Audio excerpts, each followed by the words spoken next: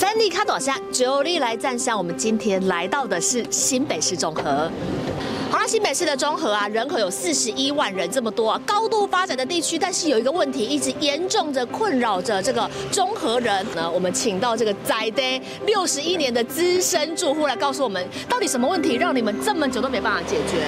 呃，主要啦是因为这边的道路哈没没有规划，那所以最困扰我们中和，尤其是南市区这边的就是交通的问题。有这个问题纠结在哪里？你直接带我们现场去看好不好？好的，好的，谢谢。很早六七点就要出门了，像这边又变窄了啊，然后又画一个人行道，就是两台车可以会，前面这整排都很窄。那我们要去板桥、土城的、新庄的，几乎都要走这边接板南路，所以板南路也很塞，车辆太多了，所以主要都是堵在南山路。啊，那南山路从板桥、中和、新庄来的，下了下了中和交流道以后，一定要走这一条，只有这一条可以走。看起来是很塞。对啊，还是都会塞啊。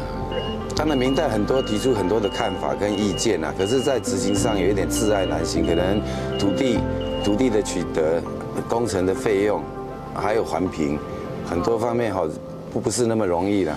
有时候塞了四五十分钟，大节日甚至于一个小时都要，这边居民都蛮困扰的，看看看可不可以做个改善。很崩溃了，因为这路就一条那么小啊，啊。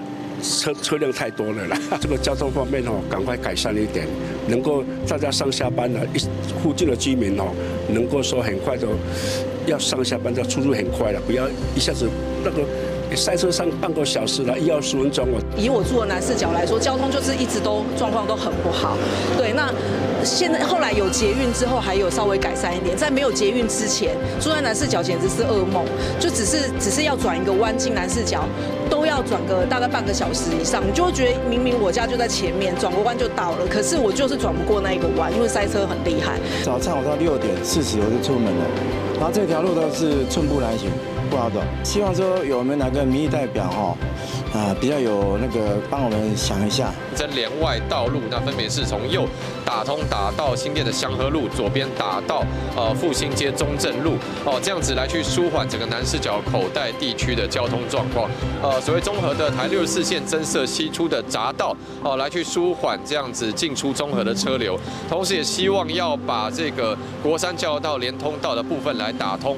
好，困扰综合这么久的。交通问题啊，也成为了这一次选战的攻防重点。说到选战，我们来看到啊，现在不止总统萨卡都在立委选情，中和这边同样也是萨卡都。那这个民众党有派人之外呢，我们来看到啊，最主要的蓝绿两大政党，国民党由这个前立委张庆忠的儿子张志伦想要来接棒，而民进党这边呢，则是派出了太阳花学运世代的吴征，要来这里啊，要来抢攻这一块蓝天绿地。现在拜托哈，谢谢啊。嗨，老板好，大哥好，先拜托，谢谢谢谢，好，行一行喽。嗨，老板好，再拜托支持哈，吴生，谢谢啊。吴生，拜托大家，谢谢。国民党派出来的又是张家的。就是张庆忠的儿子，那显然他们就是地方势力，又又有机会可以再继续扩大这样子。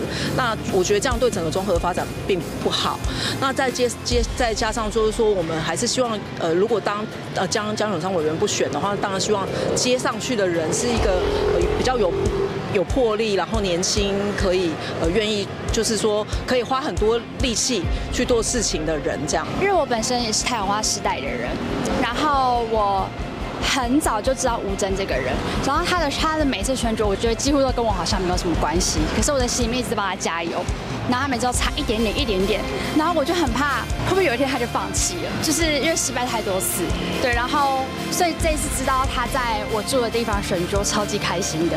既然吴征要来这边选，然后他也有意思要接棒他，所以我就觉得对吴征的期待就很大，希望他能延续着民进党良心的传统，然后在这里接棒的做下去。甚至我的对手最近也说要改善。